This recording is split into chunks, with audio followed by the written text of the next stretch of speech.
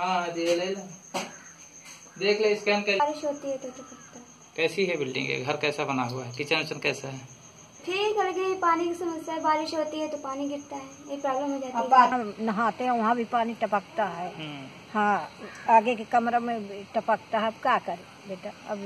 रहा जो पड़ा था पैसा भी जाता है लेकिन इसकी कभी मरम्मत नहीं होती कभी पुताई